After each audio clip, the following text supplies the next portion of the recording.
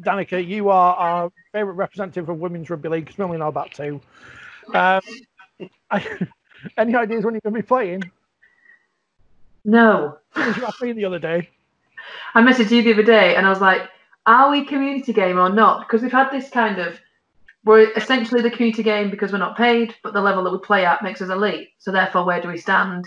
And there's a lot of discussion about do we need all the testing, which means none of us will be able to play because the clubs can't afford to, you know, put toilet roll in the in the toilets at the minute. Never mind pay for the women's testing, which is not deemed particularly um, important part of the game at, at the current situation. Um, but there is there's a new thing about the community game come out, and that could we see an eight week league from October, you know, through to the end of November. Um, and I think there's a discussion about whether we're allowed to have an actual structured league versus just having friendlies. Doesn't matter at this rate. I just want to play a couple of games of rugby. I am so over Zoom sessions and online training. And we met up the other day. Um, quite a few of us. There was a, there was a big enough big group of us. And we met up and we did our fitness session together, which is great to see. Obviously, because I doubt it. I have I've indulged in lockdown, shall I say, a lot, and was and I've come back from a, a hamstring tear. Um, so last Thursday was my first sprint session that I got signed off to do, and it was nice to see that actually I'm not that unfit as unfit as I thought I might be.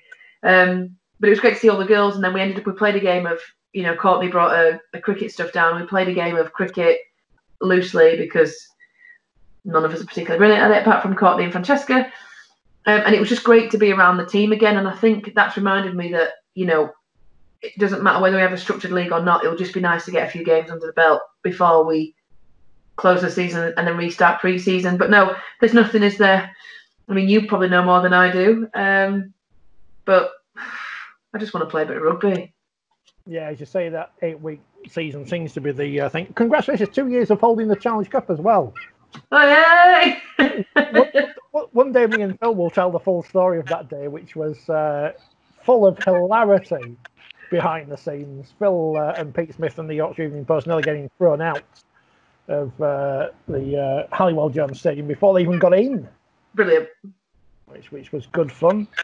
Um, spe- speaking of, and of course, that was my career highlight of being on the BBC. Uh, they've done a survey today. Uh, elite British sportswomen have spoken out about horrific abuse on social media. 30% say they've been trolled. Uh, are you one of those, Danika? Uh, trolled as in? Well, I don't know. People saying bad things to you. I mean, people say about, bad things to me all the time, but I don't think it's my rugby. um, no, I got a comment in the gym the other day. You know, I was lifting some, I was doing some weights in the gym because the gym's open and I'm back in my happy place. And I lifted some weights, and this guy was about, I don't know, he, he was lifting a lot lighter than me, and he just turned around and was like, "Oh, you're a man." And I just went and picked up some heavy weights, and I was like, mm, "Okay then, hon," and carried on. It, you know, it happens. It's some men are a little bit um, threatened by athletic women, shall we say?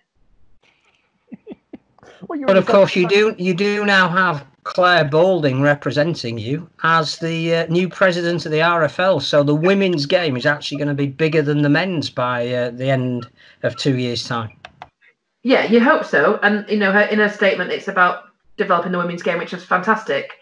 So come on, Clare, get your finger out and let's start pushing us to get us back and figure out where we're going to start. You know, and I think what is really key going into next year anyway with the World Cup is is a point, but just in general, you know, there's we're we're on the we're riding this wave for the women's rugby. We were in a great place. We were building, you know, um, with Clare coming on board anyway. We got the whisper, you know, we heard about earlier in the in the year.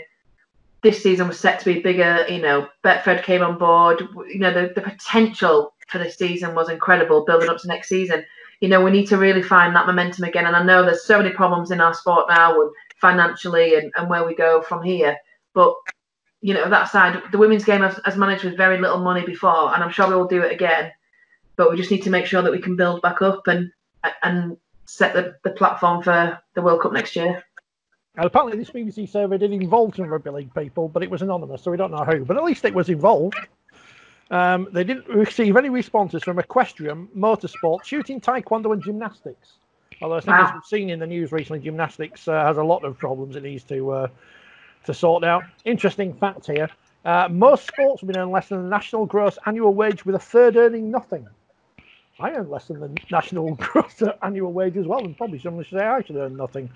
But uh, there you go.